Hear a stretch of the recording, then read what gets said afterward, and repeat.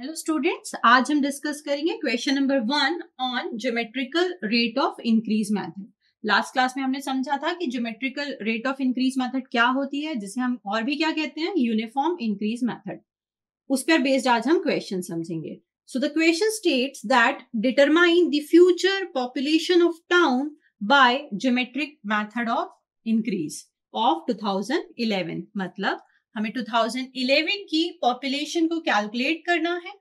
On the basis of given data given data क्या है? तो सबसे पहले हमें ईयर्स में दिए ईयर्स दिए हुए हैं डिकेट में 1951 उनकी करस्पॉन्डिंग पॉपुलेशन दी है दैट इज़ 93 एंड पॉपुलेशन आपको दी है थाउजेंड्स में तो दैट विल बी 93,000 1961 की पॉपुलेशन आपको गिवन है 111,000 1971 की पॉपुलेशन आपको गिवन है 132,000 1981 की पॉपुलेशन आपको गिवन है 161,000 अब यहाँ मैंने 161, 132, 111 लिखा है बट ऊपर हमारा लिखा हुआ है कि पॉपुलेशन काय में है? थाउजेंड्स में है. हमें कैलकुलेट करना है 11 की population through the geometric rate of increase method हम कौन सी मेथड यूज़ कर रहे हैं? Geometric rate of increase method. आपको क्वेश्चन में ये भी लिखा हुआ आ सकता है कि calculate the population of 2011 by uniform rate of increase method तो आपको याद रखना है जहाँ भी यूनिफॉर्म रेट ऑफ़ इंक्रीज आएगा तो अगेन आपको मेथड uh, कौन सी लगानी है? ज्योमेट्रिकल इंक्रीज मेथड दोनों क्या है? सेम होती है।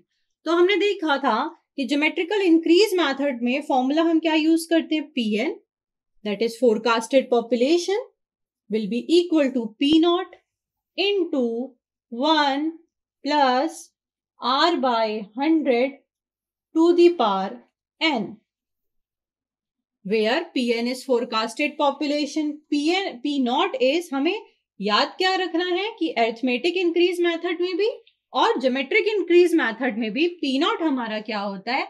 लास्ट नोन पॉपुलेशन जो भी आपको लास्ट नोन पॉपुलेशन गिवन है। देन और क्या है? एन है।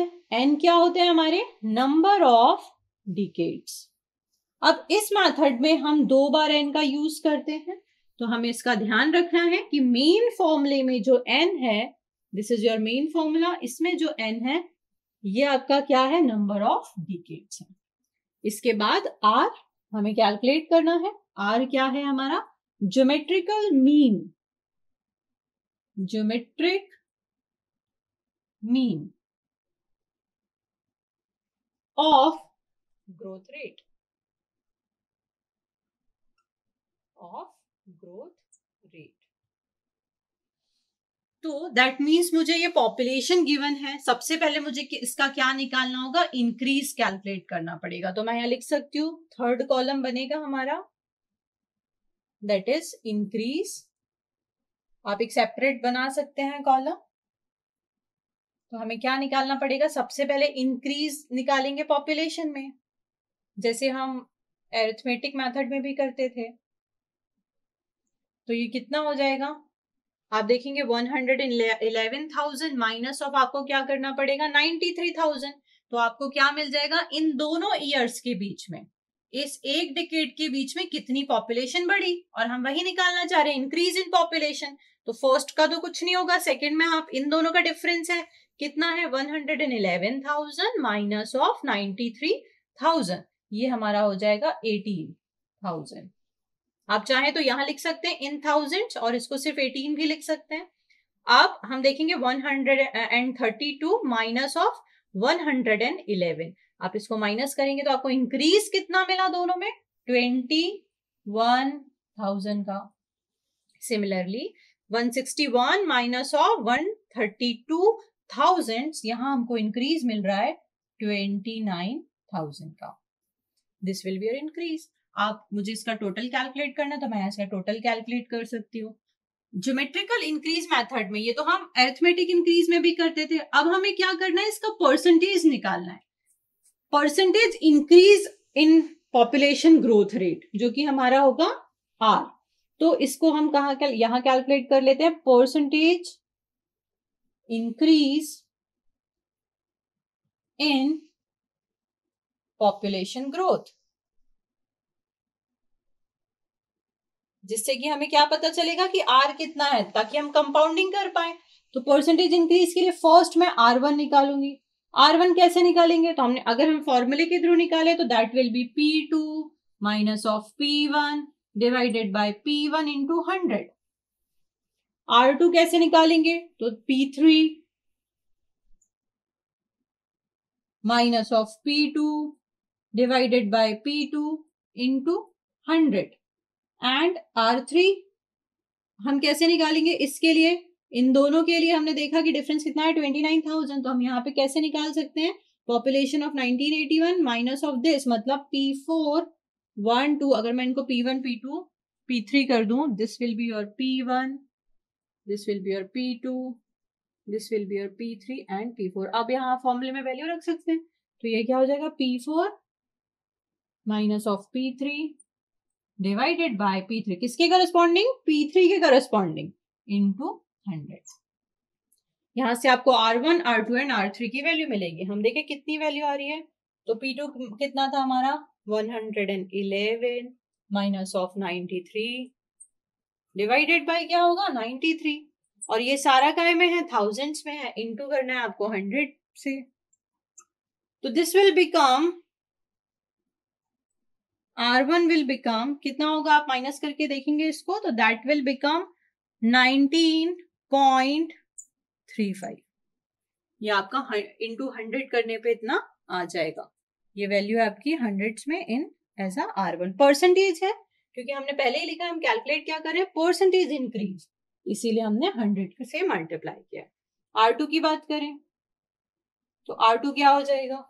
One thirty two minus of 111 divided by किसके करस्पॉन्डिंग 111 के। इनटू 100 इसकी वैल्यू देख लीजिए कितनी आ रही है। That will be equal to 18.92 ये सेकेंड आर टू आ गया। आर थ्री निकाल लेते हैं। कितना होगा? 161 माइनस ऑफ़ 132 किसके करस्पॉन्डिंग 132 के। तो that will be 132 into 100 and this R3 will be 21.97 R4 निकाल सकते हैं या नहीं? 11 की तो पता ही नहीं है तो R4 तक तो जा ही नहीं सकते 91 भी चाहिए फिर। तो मतलब हमारे तीन ही है R1, R2 एंड R3 अब इनसे हम क्या कैलकुलेट कर सकते हैं? हम R निकाल सकते हैं। कैसे कैलकुलेट करते हैं? तो हमने देखा था जब हम फॉर्मूला पढ़ रहे थे कि R will be equal to R1 into R two into R three जितने भी आपके आर हैं to the power one by N इसको कैलकुलेट करें हम। यहाँ पर अब जो एन है, ये एन क्या होता है? ये नंबर ऑफ़ डिकेट्स नहीं है। ये आपको ध्यान रखना है इस मेथड में कि this N will be number of R one R two R three जितने भी आर आपके गिवन है। तो यहाँ कितने हैं? वन टू एंड थ्री तो हम क्या पुट करेंगे? N will be equals to three मतलब ये हो जाएगा वन बाई थ्री तो मैं कैलकुलेट करूँ आर आर वन की वैल्यू कितनी है? Nineteen point three five multiply किससे multiply eighteen point nine two into twenty one point nine seven और whole to the power one by three इस तरह से हमारा आर निकलेगा. तो ये कितनी वैल्यू आ जाएगी? आर की आ, जाएगी हमारी और ये सारे हमने हंड्रेड में कैलकुलेट ऑलरेडी किए तो परसेंटेज में आंसर आएगा। आर कितना आएगा? हमारा twenty point zero three percentage per decade ये मुझे किसकी वैल्यू मिल गई? आर की वैल्यू मिल गई। अब मैं इजीली कंपाउंडिंग कर सकती हूँ। मैं इस आर की वैल्यू को कहा पुट करूँगी? इस मेन फॉर्मूला में पुट करूँगी। अब क्या पूछा है हमसे? पॉपुलेशन पूछा है ईयर 2011 की तो इस फॉर्मूले को मैं यहाँ लिख रही हूँ, आप ध्यान देंगे। P N is equals to क्या था formula P naught P naught हमें पता है वन प्लस आर आर हम कैलकुलेट कर चुके हैं divided by hundred to the power N ये फॉर्मूला था, अब यहाँ एन क्या हो जाएगा? N will be number of decades first वाला हमारा मेन फॉर्मूले का एन क्या होता है? नंबर ऑफ़ डिकेट्स अब आप यहाँ पे चेक करिए 81 से 2011 तक आते आते कितने डिकेट्स हो रहे हैं? 81 टू 91 फ़र्स्ट डिकेट 91 टू 2001 दो डिकेट एंड 2011 तक आपके थ्री डिकेट्स हो रहे हैं. मतलब एन की वैल्यू क्या होगी स्टूडेंट्स थ्री हो जाएगी. हम पुट कर दें यहाँ पर. पी एन हमें कैलकुलेट किसके ईयर के लिए करना है? पी टू थाउज़ेंड इलेवन के लिए। तो P two thousand eleven will be P naught की वैल्यू कितनी है? One hundred and sixty one thousand तो यहाँ मैं थाउजेंड्स में रख दू। वन टू थ्री ज़ीरो लगा दिया मैंने। Into one plus R हम ऑलरेडी हंड्रेड में यहाँ कैलकुलेट कर चुके हैं। That is twenty point zero three तो यहाँ मैं रख दू twenty point zero three divided by hundred to the power N. N कितना है? तीन है। इसको हम और सॉल्व कर ले तो this value will become into इसको हम ऐड कर देंगे तो this will become one point two zero zero three to the power three इसको आप सॉल्व करके देखेंगे तो the answer will be